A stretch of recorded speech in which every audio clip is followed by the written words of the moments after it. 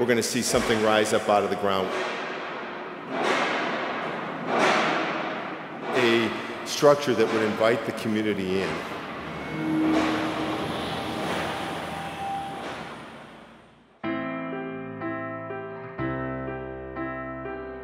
Well, the quiet company has just made a loud and powerful statement. We're opening a new door for all of our policy owners and clients.